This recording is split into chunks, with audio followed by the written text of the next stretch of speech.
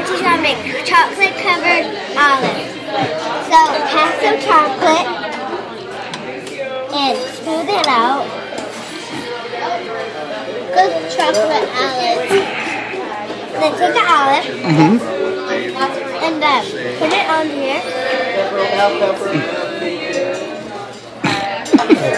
That's not how you do it. and then you just cover it with chocolate. Cover it and cover it with chocolate.